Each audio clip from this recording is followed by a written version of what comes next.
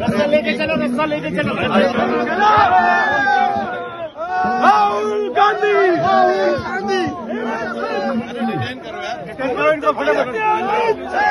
राहुल गांधी चलेगी नहीं चलेगी नहीं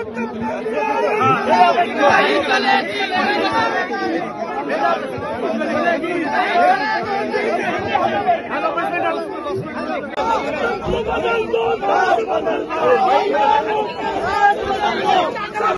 जो जेपीसी मांग के लिए, जो मांग हुआ है, जो उसके लिए सरकार तैयार नहीं है, जब जब सरकार डरती है, पुलिस को आगे करने का काम करती है, सरकार को शर्म आना चाहिए। जो बात सुनने के लिए तैयार नहीं है, यह म्यूट तंत्र सरकार है। संसद से लेकर म्यूट तंत्र सरकार चल रही है, वो सरकार के खिलाफ सजा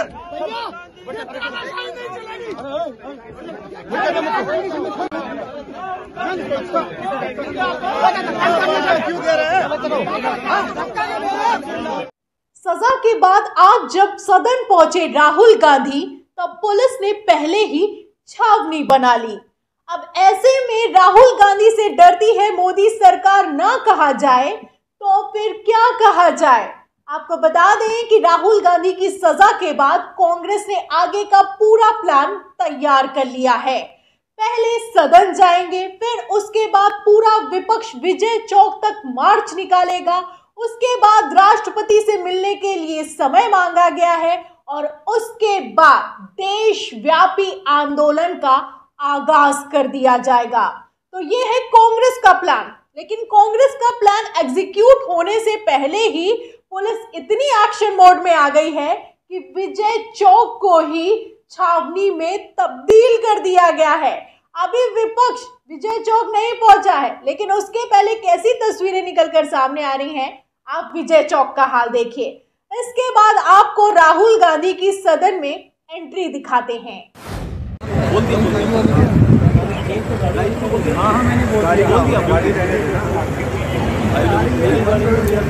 तो तस्वीरों में देख सकते हैं, ये वही विजय चौक है, जहाँ तक तैयारी है विपक्ष की कि मार्च करके जाएँगे। लेकिन उसके पहले आप देख सकते हैं कि कितनी भारी मात्रा में पुलिस बल को तैनात किया गया है बैरिकेटिंग लगाई गई है, तमाम मीडिया भी मौजूद है, और उसके साथ पूरे पुख्ता इंतज़ाम किए गए हैं कि ये लोग कहीं और ना चले जाएँ या फिर आगे ना बढ़ जाएँ, या फिर कि ये आंदोलन मोदी सरकार के खिलाफ एक मील का पत्थर ना साबित हो। फ़िलहाल आप देख सकते हैं कि तैयारियाँ कितनी मज़बूत की गई हैं। इसके पहले भी जब बजट सेशन चल रहा था, तब भी इसी तरह की तस्वीरें निकलकर सामने आई थी। और अब जब कांग्रेस ने अपना फुल प्रूफ प्लान तैयार कर लिया है, तब भी उसी तरह की कुछ तस्वीरें निकलकर सामने आ रही हैं। फ़िलहाल इसी पुलिस की बैरिकेटिंग पुलिस की तैनाती के बीच राहुल गांधी ने सदन में एंट्री मारी है।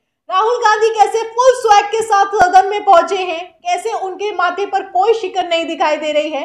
राहुल गांधी की सदन में एंट्री देखिए, इसके बाद किस तरीके से रणनीति बनाई गई है, वो बताते हैं। राहुल गांधी संसद पहुँचे हैं, कल ही सूरत की अदालत ने उन्हें मानहानि के एक मामले में दो साल की सजा सुनाई है। उनकी सदस्यता को लेकर के खतरा है। राहुल जी राहुल जी, जेपी नड्डा कह रहे हैं कि आपने ओबीसी समाज का अपमान किया है। Rahul ji any comment sir Rahul ji any comment जी एक बार इसे राहुल जी राहुल जी राहुल जी एक बार। Any comment Rahul ji. तो आप देख सकते हैं कि राहुल गांधी सदन पहुँच चुके हैं। एक तरफ़ पुलिस की तैनाती की गई है बैरिकेटिंग लगाई गई है भारी पुलिस बल तैनात किया गया है शाह की पुलिस फुल एक्टिव मोड में दिखाई दे रही है। वहीं दूसरी तरफ़ राहुल गांधी भी फुल एक्टिव मोड में दिखाई दे रहे हैं। सोचा था कि राहुल गांधी को जब सजा हो जाएगी तो तो बैकफुट पर चले जाएँगे। इस सजा से कैसे बचना है, इस बात पर रणनीति बनाएँगे। लेकिन आप देख सकते हैं, यहाँ पर खेल पूरा उल्टा पड़ता हुआ नज़र आ रहा है। राहुल गांधी को सजा हुई है, उस पर रणनीति नहीं बनाई जा रही है। रणनीति इस बात को लेकर बनाई जा रही है कि अडानी मसले पर कैसे जेपीसी की जाँच कराई जाए।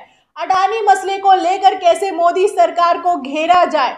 पहले ही राहुल गांधी ने कह दिया था कि पुलिस को भेजना सजा सुनाना ये पूरा खेल करना मुद्दे से भटकाने की राजनीति है। लेकिन वो मुद्दे से भटकने वाले नहीं हैं। फ़िलहाल आप देख सकते हैं कि सजा के एक ठीक एक दिन बाद ठीक एक दिन बाद कैसी तस्वीरें सदन के बाहर से निकलकर सामने आ रही हैं जहाँ एक तरफ़ सदन की सदस्यता रद्द हो जाएगी इस तरह की बातें हो रही हैं। उस तर, उस उन उन खबरों के बीच में राहुल गांधी का कितना स्वाग दिखाई दे रहा है। आप फ़िलहाल इन तस्वीरों से अंदाज़ा लगा सकते हैं। इसके साथ ही आपको बता दें कि पूरा विपक्ष इकट्ठा हुआ है, एकजुट होकर अडानी मसले पर बात की गई है और कैसे रणनीति बनाने के लिए सब एक साथ बैठे हुए हैं। आप तस्वीरें देखिए कि कैसे सदन के अंदर विपक्षी दलों की मीटिंग चल रही है।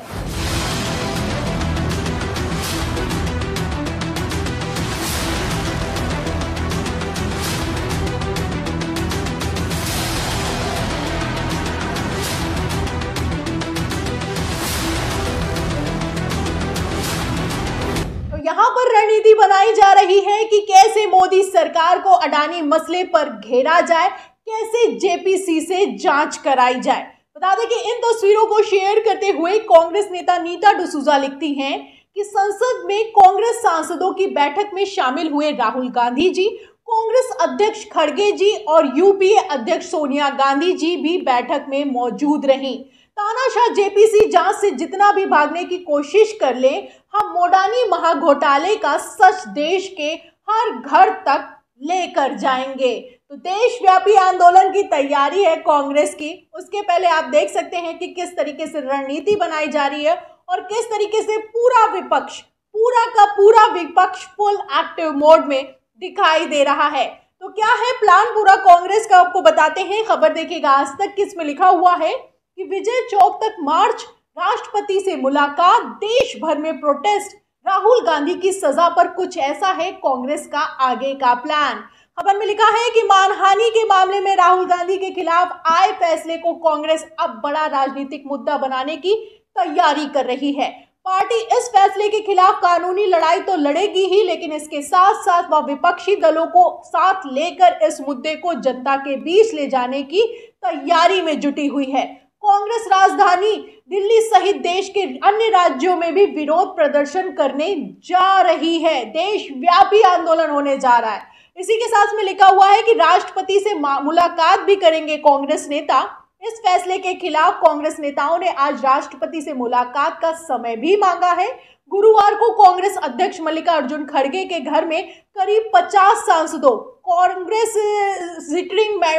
कमेटी के सदस्यों और वरिष्ठ नेता के एक बैठक हुई थी, जिसमें आगे की रणनीति को तैयार किया गया है। तो बैठक से कैसी तस्वीरें निकलकर सामने आई थी? जब आधी रात बैठक की गई, मल्लिकार्जुन खड़गे भी मौजूद थे, पचास सांसद भी मौजूद थे, राहुल गांधी भी पहुँचे। तो कैसी तस्वीरें निकलकर सामने आई इस बैठक से?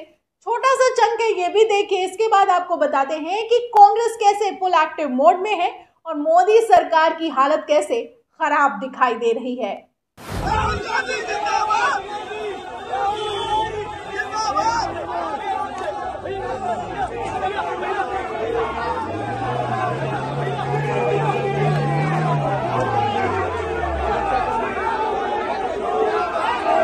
आप तस्वीरों में देख सकते हैं उसी दिन की तस्वीरें हैं जिस दिन राहुल गांधी को सजा सुनाई गई है। उसी दिन रात में 50 सांसद इकट्ठा हुए राहुल गांधी भी पहुँचे हैं और मीटिंग हुई है। मीटिंग में पूरा आगे का प्लान तैयार कर लिया गया है। मैंने आपको बताया कि कैसे मार्च से लेकर देशव्यापी आंदोलन छेड़ने की तैयारी करने जा रही है कांग्रेस, जहाँ एक तरफ़ मुद्दे से भटकाने की राजनीति चल रही है, दूसरे मुद्दे को मुद्दा बनाने की राजनीति चल रही है। वहीं दूसरी तरफ़ राहुल गांधी समेत कांग्रेस और पूरा विपक्ष भटकने के लिए तैयार नहीं है। और आप देख सकते हैं कि कैसे फुल एक्टिव मोड में दिखाई दे रहे हैं और जेपीसी की मांग को लेकर अब घर घर जाने की तैयारी की जा रही है। तो कांग्रेस के इस प्लान पर इन तस्वीरों पर आपका क्या कहना है? आपको क्या लगता है कि क्या अब मोदी सरकार वो अडानी का जो मसला है उस पर जाँच करवाएगी? इस सवाल के जवाब में और इस पूरी खबर पर, इन तस्वीरों पर आपका क्या राय है? हमें कमेंट बॉक्स में ज़रूर लिखें। वीडियो को ज़्यादा से ज़्यादा शेयर करें। सब्सक्राइबर पर दबाएँ बेल आइकन दबाएँ, ताकि हर खबर की नोटिफिकेशन आप तक पहुँचती रहे। मैं प्रियंका, आप देख रहे थे ऑनलाइन न्यूज़ इंडिया फिर मिलते हैं अगली खबर के साथ। तब तक के लिए धन्यवाद। इस खबर को अभी लाइक करें शेयर करें। अभी चैनल को सब्सक्राइब करें और घंटी ज़रूर